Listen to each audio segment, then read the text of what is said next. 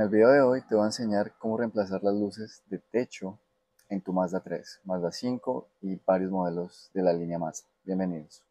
Bueno, para este trabajo vamos a estar utilizando estos LEDs. Eh, les voy a dejar la descripción aquí en el video. Los pueden encontrar en Amazon.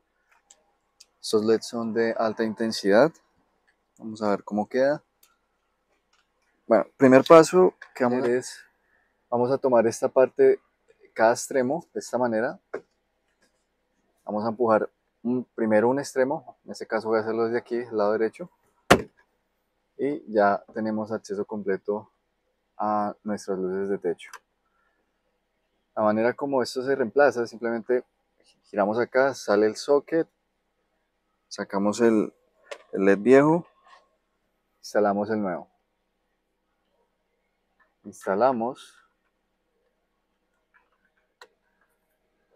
instalamos de esta manera y nos vamos a asegurar de que quedó en la polaridad correcta.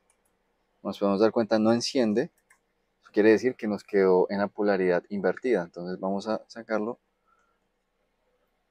Ok, listo. Entonces ya una vez tenemos insertado el LED, giramos y ya nos tendría que encender sin ningún problema.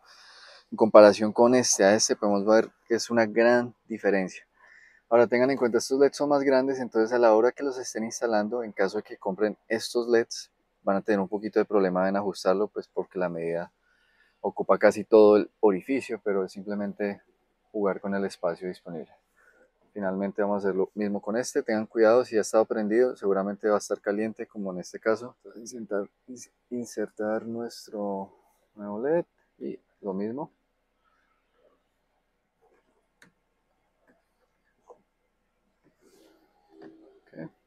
Ya para la instalación, bastante sencillo, pero antes asegurémonos de que esto está bien ajustado.